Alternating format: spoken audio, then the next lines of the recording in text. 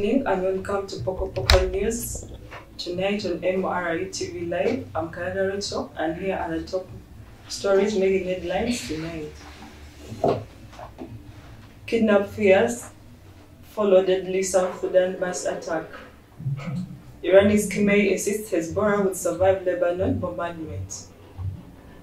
Mapping 10,000 cross-border attacks between Israel and Lebanon. Lebanese Hezbollah fires missile at Mossad HQ near Israel's Tel Aviv. Attack by Al Qaeda linked group in Mali killed more than 700 people. And here are the news in details. Kidnap fears follow deadly South Sudan bus attack. A long distance bus has, has come under attack by gunmen in South Sudan. The army has blamed the rebel National Salvation Front, which, is, which has not commented. And our news reporter has more details on that. Kidnap fares follow a deadly South Sudan bus attack. A long-distance bus has come under attack by gunmen in South Sudan on a main road south of the capital, Juba, leaving at least one person dead and several others fired kidnapped, the army says. The passenger vehicle heading for the Ugandan capital, Kampala, was targeted on Tuesday morning. Despite a peace deal being in place to end years of civil war in South Sudan, insecurity remains rife in many parts of the country. The army spokesman Major General Lul Ruwai Koang told us that one person, a Ugandan man, had been killed and eight wounded. We'd like to start by passing our condolences to the victim of the road attack this morning. And we learned that uh, that was a national from uh, Sisterly Republic of Uganda. Uh, in the morning at around 8.30 to 9, uh, a bus, a Babito bus that was traveling from Juba to Nimule was ambushed uh, near Kubi, uh, Jabalain area. In that ambush, uh, one person was killed and eight people were injured, including seven civilians and one serviceman from National Security Service. We have registered uh, between 7 to 14 passengers that have gone missing or strongly believed to have been abducted uh, by the attackers. Our security forces were the first to respond. They rushed to the scene and they discovered that uh, the bus was set ablaze. And by the time they were arriving, they arrived, it was still on fire and burning. They even took videos of the bus when it was burning. Uh, they followed uh, the footprints of the attackers. They pursued them and they ran towards Lobonok Payam of uh, Juba County. In August 2020, 11 passengers, South Sudanese and Ugandans were killed and several others wounded when their vehicle was ambushed by an unidentified armed men.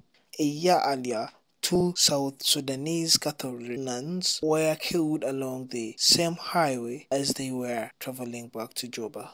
Israel's Khamenei insists Hezbollah will survive Lebanon bombardment Armed Shenge group hunt by loss of top commanders, but will not be brought to its knees, the supreme leader states. And our news reporter has more on that. Ayatollah Ali Khamenei insists that Lebanon's Hezbollah still stands strong despite losing some of its top commanders to Israel strikes. Speaking at a meeting with military personnel on Wednesday, as Israel bombardment targeting the Shia armed group continued for the third straight day. Iranian supreme leader said that while Hezbollah has been weakened, it will survive. Some of the effective and valuable forces of Hezbollah were martyred, undoubtedly caused damage to Hezbollah, but this was not the sort of damage that could bring the group to its knees, said Khamenei. Mapping 10,000 cross-border attacks between Israel and Lebanon. Israel, Hezbollah, and other Lebanese groups have exchanged more than 10,200 attacks between October 7, 2023 and September 28, 2024. And Saha, our reporter, has more on that. Mapping 10,000 cross-border attacks between Israel and Lebanon. Israel, Hezbollah and other Lebanese groups have exchanged more than 10,200 attacks between October 7, 2023 and September 20, 20th, 2024. The latest escalation between Hezbollah and Israel, more than 569 people, including 50 children and 94 women, have been killed in Israeli airstrikes across Lebanon since September 23. In retaliation, Hezbollah launched rocket attacks into Israel with some projectiles directed at Israeli air bases. Lebanon's Hezbollah fires missile at Mossad HQ near Israel, Tel Aviv. Israel's army says it was the first time an attack from Lebanon reached central Israel as cross-border hostilities continue. And our news reporter, Sempe Waheski, has more details. Has fired a ballistic missile targeting Mossad's headquarters near Tel Aviv. The Lebanon group say warning sirens sounded in Tel Aviv on Wednesday as surface-to-surface -surface missile was intercepted by Israel air defense systems after it was detected crossing from Lebanon, the Israel military said. Hezbollah said that the building targeted was where the Israeli intelligence agency planned the recent attacks using pagers and other wireless devices. The launch came amid Israel's bombardment of Lebanon. Attack by Al-Qaeda linked group in Mali killed more than 700 people.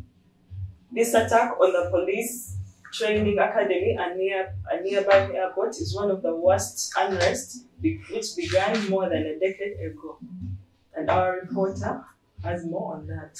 Attack by Al Qaeda linked group in Mali killed more than 70 people. More than 70 people are thought to have been killed in an attack by Al Qaeda linked group on Mali's capital Bamako earlier this week, according to diplomatic and security sources. Handline fighters from Jamaat Nusrat al-Islam wa al-Muslimin JNIM carried out an attack on an elite police training academy and the nearby airport on Tuesday, prompting shock and anger in the West African country. A security source speaking on condition of anonymity told the AFP news agency that 77 had been killed and 255 injured in the attack. Two diplomats serving in the region, including one based in Bamako, told the Reuters news agency that the death toll was believed to be in 70s. The attack undermines claims for the military, which seized power in a coup in 2021, to have stabilized the situation after the departure of the French troops and turning to Russia for security. Mali's military rules have acknowledged some losses. The GNI claimed that a few dozen of its fighters are killed and wounded, hundreds from the opposing ranks, including members of Russia Mercenary Group Wagner. There was widespread international condemnation, including from United Nations Security General Antonio Guterres, neighboring Senegal, African Union Commission Chairman Moussa Faki Mahamat, and the embassies of France and United Kingdom. I remain Kayaga Rachel, news reporter, MRU. Thank you for watching MRU TV. Stay tuned.